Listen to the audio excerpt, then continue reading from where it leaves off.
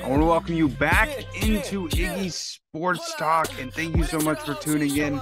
I am your host, Jake Ignazuski, or Iggy for short, and woo, it feels good to say that. It's been a little bit since I have posted on this podcast. If you're still listening, tuning in, and supporting means the absolute world to me. And uh, I've been a little bit busy over the last few months. That's just pretty much the main reason why I've been posting on this podcast. Uh, I'm currently right now the director of media content for a arena football team. Our season just ended, and I also co-host a Red Sox podcast that is five days a week. So something that I always preach on this podcast is focusing on your mental health and not overwhelming yourself. And that's exactly what I have been trying to do.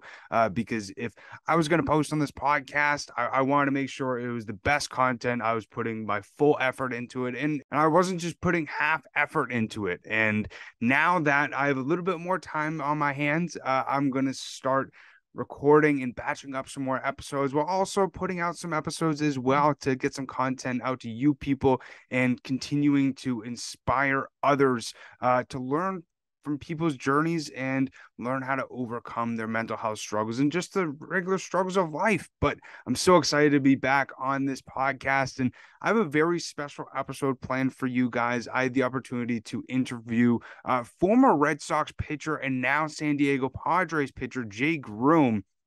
funny enough, I actually recorded this interview uh, for my Red Sox podcast. And uh, pretty much on the day that I was going to be posting it on that podcast, Jay Groome got traded from the Boston Red Sox over to the San Diego Padres in a trade that sent Eric Hosmer to Boston. But I had a great conversation with Jay, and I thought it would fit perfectly on this podcast. He talks a little bit about his journey and how he overcame some injuries after getting drafted uh, in the first round during the 2016 MLB draft to the Red Sox and really overcoming all the hype that was around his name and you know sort of the mindset that he goes into uh, in each and every single start and really how his journey has helped him be able to learn and build up his mental side of the game. But uh, i hope you guys do enjoy this interview and learn a little bit about uh, not only jay the player but jay the person Let's listen in. Talk a little bit about the support that you felt from Red Sox fans since getting drafted in 2016, especially now being up in Worcester with the crowd behind you last night. How did that feel? Uh, it's good. They always, uh, everyone always said Boston has the best fans, and I think they really do. Even from when I got drafted, I've, I had got dudes and people just DMing me all the time, wishing me the best and hoping to see me in Boston soon. So it's nice uh, knowing that the guys and the, and the girls in the stands have your back and want to see you succeed.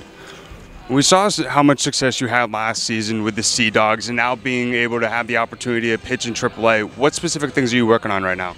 Uh, mainly just still attacking the strike zone. I'm at my best when I'm filling up the zone and throwing everything with conviction in the zone. And uh, I think it's just a matter of me not trying to be too perfect when uh, the games on the line and just continuing to just trust myself and uh, you know when I do good things happen and sometimes when I get away from doing what I do good it, I get into a little bit of trouble but now uh, as opposed to my younger self would probably give up right away now I just know okay like continue to stick to the game plan that guy that guy just flat out beat you or you just got away from the zone and walked him but if I just continue to pound the strike zone, good things always usually happen.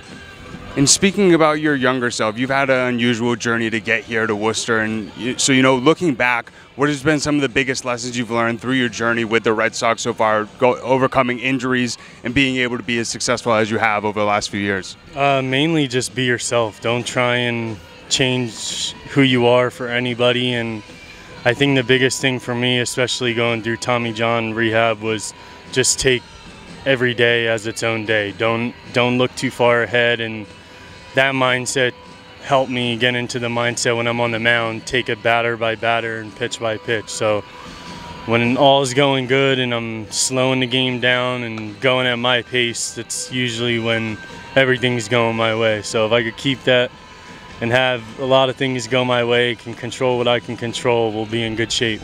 you can really see you having fun, the smile on your face from the energy that, that you know you can feel around the building. But uh, something that I like to do with these interviews is help Red Sox fans learn a little bit about you as a person. So, um, what what is maybe some random fact that Red Sox fans might not know about Jay Groome?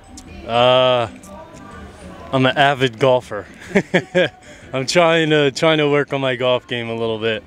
Um, I like fishing. I did. Uh, I grew up uh, largemouth bass fishing, so it was cool to uh, experiment that in Maine. I'm hoping on one of these off days to get out and fish the waters up here, see what see what they got to offer in terms of largemouth. But uh, yeah, just uh, golfs and fishing I like to do, and then just hanging home with my wife and my daughter, going somewhere with my daughter. Uh, sometimes we try and find like zoos for her and just anything that keeps her busy. Awesome, man. Keep up the great success. Appreciate really it. appreciate it. You as well.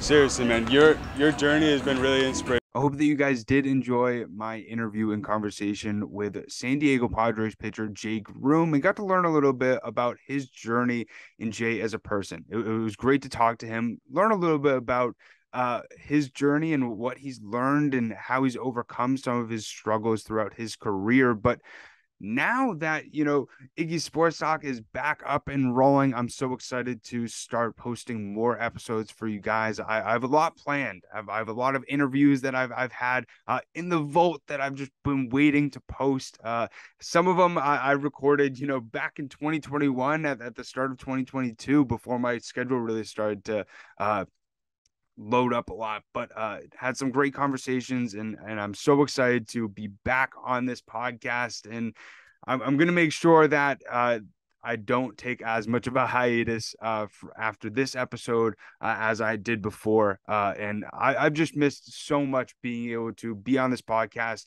have real conversations, and to be able to, uh, you know, hear your guys' thoughts as well. You know, one of my favorite things about doing this podcast is being able to get message from you, the listeners, on how much you enjoy these conversations and how they help you uh, be able to, you know, apply some of these lessons to your own life. Uh, that's really what it's all about. But so excited uh, for everything that I have planned uh, for the next few months uh, for this podcast. I just started actually uh, recording a brand new series called the Friends Series, where I have real conversations uh, with friends talking about some deep stuff. So buckle up, get ready for that stuff. But I don't know if I'm going to be posting weekly at the moment just because my schedule still is very busy, but uh, I'm going to do my best to do every other week if I can. But uh, definitely look out for those and uh, continue supporting. I, I really do great, greatly appreciate it. But uh, we'll end this episode. Uh, I, I want to do sort of like a new like ending, but uh, you know, you're enough, you're loved. And at the end of the day, you're exactly where you're supposed to be. Everything is happening exactly how it's supposed to in your life. And live each day to the fullest and uh, love yourself. At the end of the day, that's the most important thing. But as always, greatly appreciate everybody tuning in, and uh, we'll see you next time.